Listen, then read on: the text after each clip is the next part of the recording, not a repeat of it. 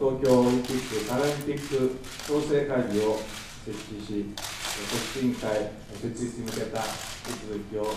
進めたいと思っておりますので、よろしくご協力のほどお願い申し上げます。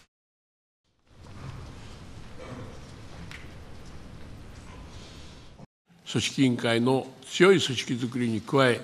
我々関係者が一丸となっていく必要があります。スポーツ界、東京都、政府関係者だけではなく、経済界や全国の自治体、